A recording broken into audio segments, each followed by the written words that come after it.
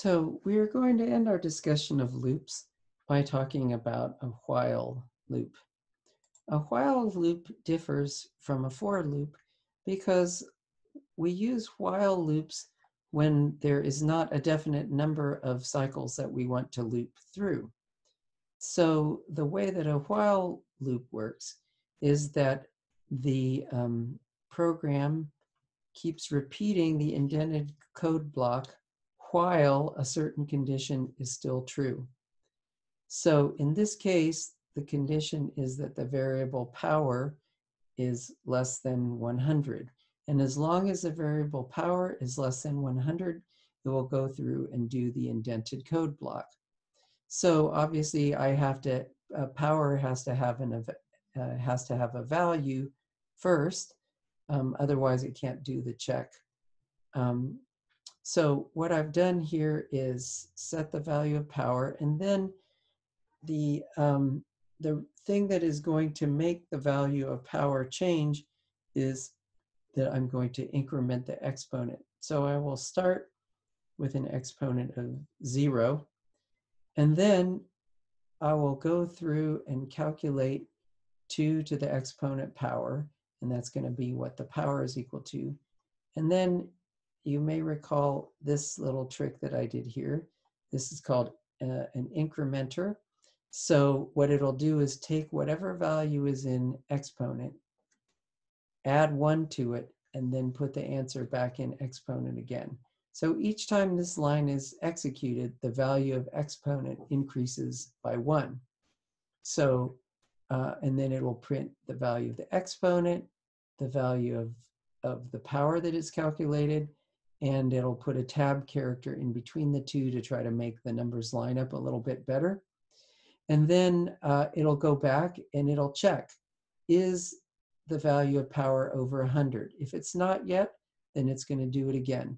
Do the calculation, increment the value of exponent by 1, print it out, and now check and see is power over 100 yet. So it'll continue to do the indented code block um, however many times it needs until the value of power that I calculated is over 100. Up here, I've stuck in a print statement, and you'll notice this is going to be the column headers, so it'll print exponent, and then here I've in inserted a tab character, and then it'll print power. And after it's done executing all the loops up to a power that's over 100, then it'll print this statement right here. So one of the things that, um, at, that I mentioned is that you have to have an initial value for the value that you're testing. The other thing is that there has to be some way for that value to achieve the um, test that you have set for the while loop. If there is no way for the test variable to ever have the value that you're testing for, then you will have created what we call an infinite loop. The, the um, program will keep running and it will never stop. Um, you can actually make it stop. Uh, I think you uh, can press either Control C or Control Z, and that will make the loop stop so um, the other thing is that the test is not carried out until after the indented code block has finished. So this is not going to stop when the power is less than 100. It's going to continue if the power is less than 100. So the last time when I calculate the exponent and it goes over 100, it is still going to print that out. And then when it goes back and checks on this Boolean condition here, it will fail to be true, it'll be false, and then it will go and continue on. So let's go ahead and try uh, some examples of this. So here's the example that I gave. Let's see how that works. So the headers don't line up exactly, but that's not too bad. So we can see here it incremented the exponent by one each time, and then it calculated the power each time, And as I said, um, it goes ahead uh, when it checks 64 and finds that 64 um, is not enough, then it's going to go ahead and increment this and, and uh, calculate it, the value for 8. Then when it's printed 128, it goes back and checks, sees that it's over 100, and then does not do the indented code block again and goes on and continues with the rest of the code. The last example that I'm going to show is actually, it's a little bit tricky, but it's extremely useful. Before we go into the example though, I want to um, try this code block right here.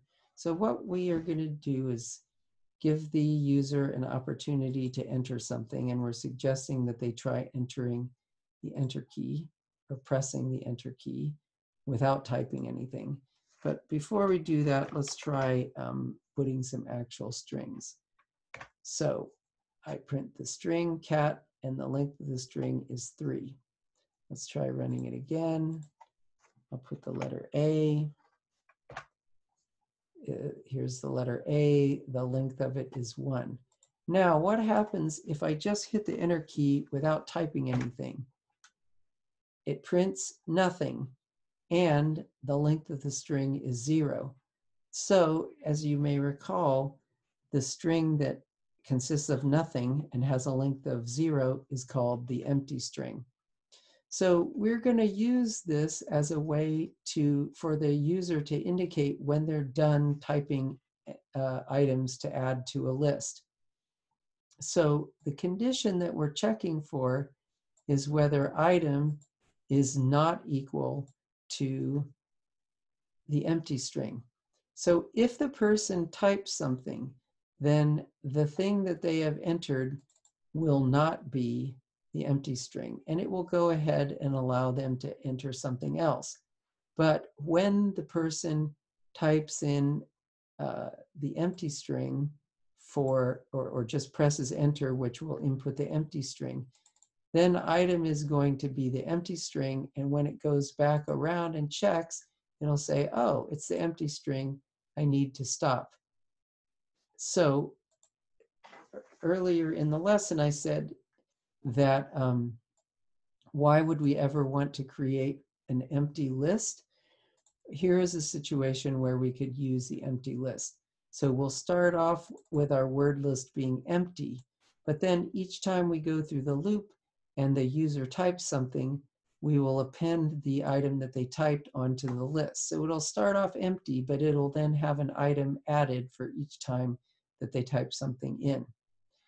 Now, um, as I said uh, in the explanation before, you have to have some value for the item that does not meet the condition in order for it to do the loop the first time. If I uh, don't assign it any value, then it, it won't do the loop. So I've just made the value of item be anything. It doesn't really matter what it is as long as it's not the empty string. So uh, it will go through can uh, add all these items.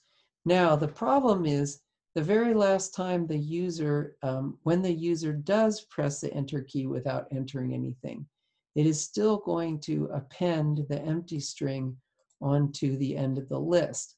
So if we, unless we really want the empty string to be on their list of words, we need to remove the last item off of the list.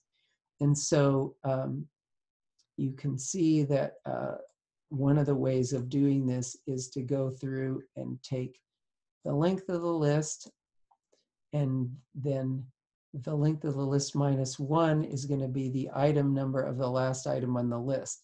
So I can tell it to delete the last item on the list.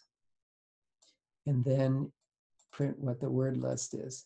This isn't the only way we could achieve this.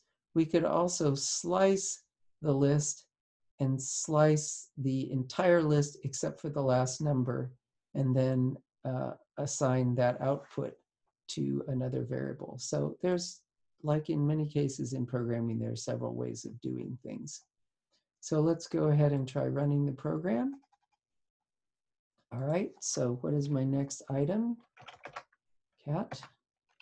Next item, dog. Next item, bird. Now I'm going to hit enter and it says your list is cat, dog, and bird. Now, just to see what happens if I don't remove the final item from the list, I'm going to comment it out and let's try running it again.